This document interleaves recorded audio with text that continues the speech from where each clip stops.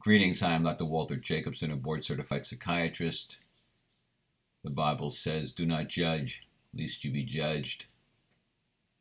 The Bible says, He who lives in glass house should not throw stones. Okay, uh, all of these things is there's several things in the Bible, several references to uh, judgment, and uh, it's very clear that uh, really we should not be judging. And uh, guess what? The one thing we do most on the planet.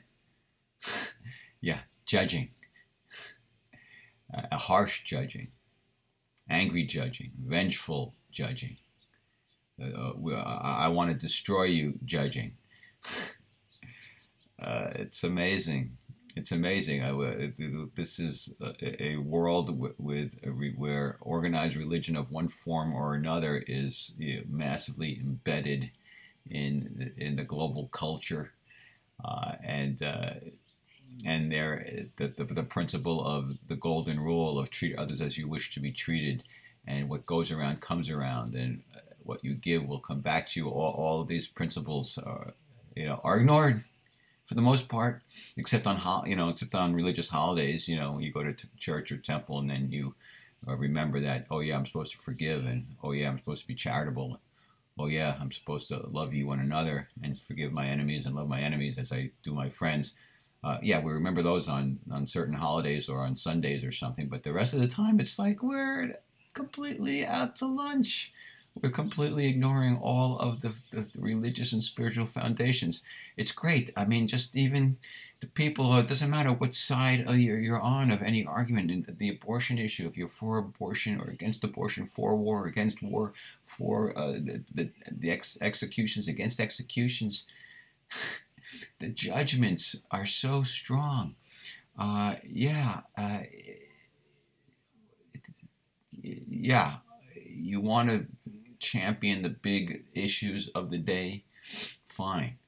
But still, day to day, moment to moment, you should try to pay attention to the basic uh, principles and foundations of the religion you're practicing and following, which is, in my opinion, uh, stop judging harshly.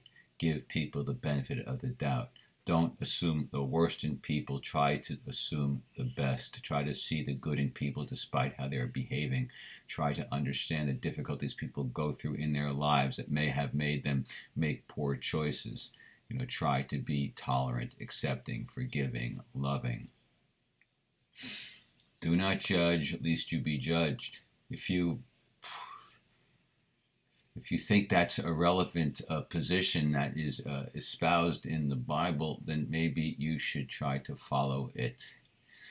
And if you're not a, uh, a Bible fan or a Christian or a religious fan of some sort, uh, guess what? You should still try to follow it. Okay, basically, uh, judgment is really about projection. Is about seeing things in other people that we ourselves are guilty of. Double standard, big deal. Double standard's a very big deal in our world. It's every second, every day, uh, everywhere. Double standards flying right and left. Uh, not good. We should try to be consistent and uh, judge people we like and don't like uh, with the same criteria, with the same merit. Uh, but we should try truly to let go of judgment let go of attack thoughts, let go of negativity, let go of aggression, and uh, find a way to be role models of right action, peace, and cooperation. Okay, thanks.